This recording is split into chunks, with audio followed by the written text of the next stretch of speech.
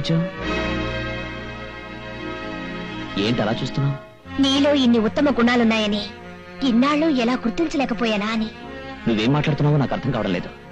కానీ నువ్వెవటో నాకు పూర్తిగా అర్థమైంది. నిన్ను కావాలనుకోవడం ఎంత పొరపాటో నీకోసం తండ్రిని ఉన్న ఇంటిని వదులుకొని వచ్చాడు ఎంత బుద్ధి తక్కువతనమో నాకు బాగా అర్థమైంది.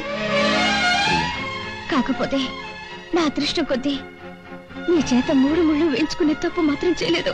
What talking!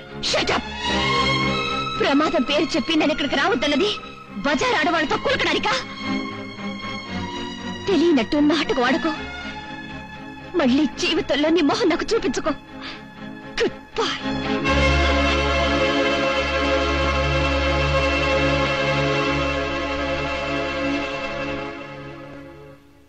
అది కాదురా రాజు.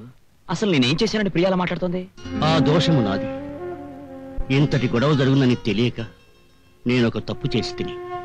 తప్ప ఏమిటది? నా కారణముగా నీవు గాయపడితివి.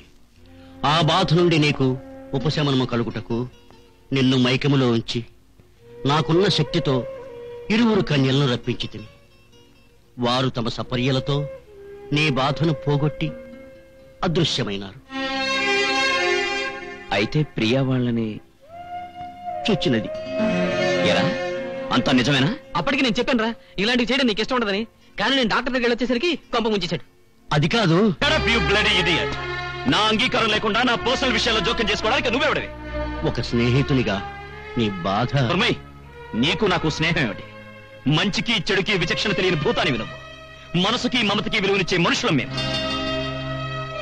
నీ సరదా కోసం నువ్వు చేసిన పని ఇప్పుడు నా జీవితాన్ని నాశనం చేసింది. నా ప్రియం నాకు దూరం చేసింది. ఏ దుర్ముహూర్తంలో నువ్వు నాకు తారసపడ్డావో గాని చాలా గొప్ప సాయం చేశాను. చేసిన నిర్వాకం చాలు. దయచేసి వెళ్ళిపో. బాస్. మనస్ఫూర్తిగా అంటున్నారా? అవును. ముమ్మాటికి మనస్ఫూర్తిగా అంటున్నాను. ఆదిలో మీరు మనస్ఫూర్తిగా ఎప్పుడు పొమ్మందురా? ఎప్పుడు నా ఆత్మకు విముక్తి కలుగునా అని ఎదురు చూచితిని కాని కాలక్రమేణా మీ అందరి మంచితనము నన్ను ఆకట్టుకున్నది. ఇంత స్వచ్ఛమైన ప్రేమాభిమానాలు నా గత జీవితంలో లేవు.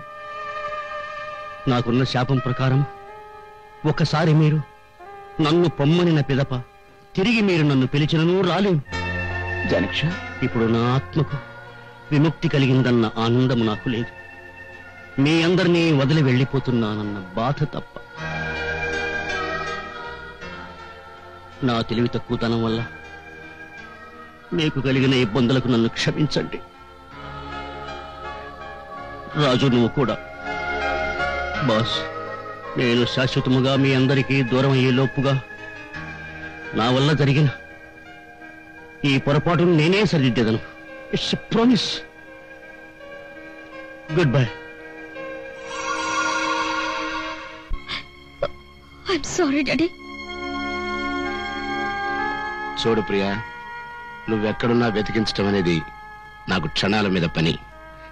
నేను రప్పించటం కాదమ్మా నీ అంతట నువ్వుగా రావాలి అనుకున్నాను వచ్చేసావు. చాలా సంతోషం. Thank you daddy thank you very much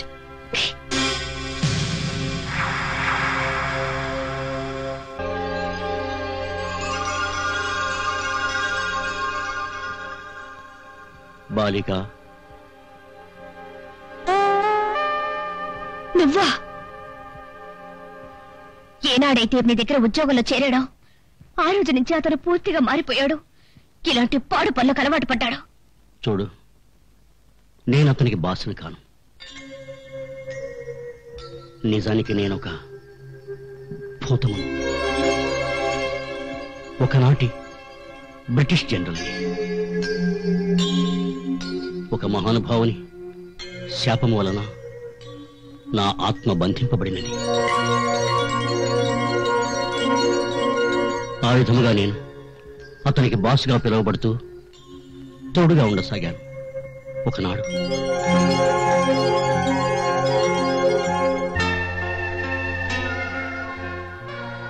నాకున్న చింతల్లా ఒక్కటే. మీరిద్దరూ నా మూలంగా విడిపోయారు.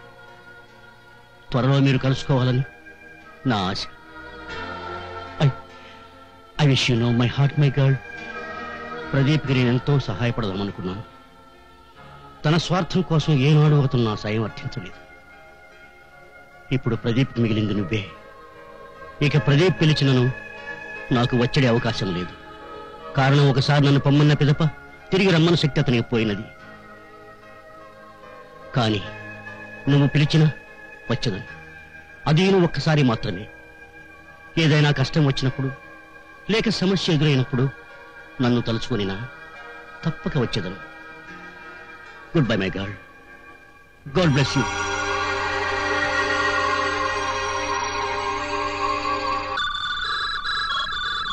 fantastic well done my boy ఇది సామాన్యమైన కేసు కాదు.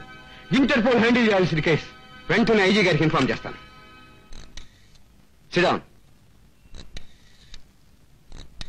గుడ్ మార్నింగ్ సార్ నేను సిఏ చక్రవర్తిని సార్ ఒక స్మగ్లింగ్ రాకెట్తో కనెక్షన్ ఉన్న వాళ్ళందరి వివరాలు నాకు దొరికాయి సార్ ఆ వివరాలన్నీ ఒక మినీ కంప్యూటర్లో ఫీడ్ చేసి ఉన్నాయి. నా దగ్గర ఉంది సార్ ప్రదీప్ అని ఓ యంగ్ మ్యాన్ తీసుకొచ్చాడు. అలాగే సార్ ఆ ప్రదీప్ సర్కిల్ ఇన్స్పెక్టర్ దొరికిపోయాడు. కంప్యూటర్ వాడి దగ్గర ఉంది. వాడిని మన పాత గెస్ట్ హౌస్కి తీసుకురమ్మన్నాను. వాడు రావడం కంప్యూటర్ మన చేతిలో పట్టడం వాడి ప్రాణాలు గాల్లో కలిసిపోవడం ఒక్కసారిగా జరిగిపోవాలి. ఎస్ సార్ ఎస్ సార్ కాదు. ఈసారి వాడు ఖచ్చితంగా చచ్చిపోవాలి. గతంలోనే వాడిని చంపేసి ఉంటే ఈ రోజు మనకి తలనొప్పి ఉండేది కాదు. So be careful okay sir వెళ్ళు.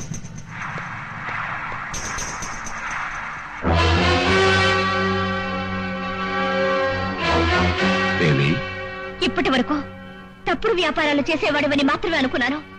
కానీ ప్రాణాలు తీసే రాక్షసుడివని ఇప్పుడే తెలుసుకున్నాను. ఏమిటే? వయసుకు మించిన మాటలు మాట్లాడుతున్నావు? హత్యలు చేయటం నా హాబీ కాకపోయినా తప్పనిసరైనప్పుడు చేయటానికి వెనకాడను! నీలాంటి తండ్రికి కూతురైనందుకు సిగ్గుపడుతున్నాను. నువ్వు సిగ్గుపడాల్సిన అవసరం లేదు. ఎందుకంటే నువ్వు నా కూతురేవి కాదు. నీ బాబు నాకు అన్న. నువ్వు కళ్ళు తెరిచేసరికే నీ తల్లిని తండ్రిని కళ్ళు మూయించేశాను అప్పటి నుంచి ఈ ఆస్తి కోసం నీ బాబులా చలామణి అవుతున్నాను అర్థమైందా నీలాంటి పావున ఇన్నాళ్ళు నాన్నాని పిలిచాను ఆస్తి కోసం ఎంతటి నీచానికైనా ఒడికట్టే నీలాంటి వాళ్ళని ఊరికే వదలకూడదు ఇప్పుడే పోలీసులకు ఫోన్ చేస్తాను నువ్వుంటే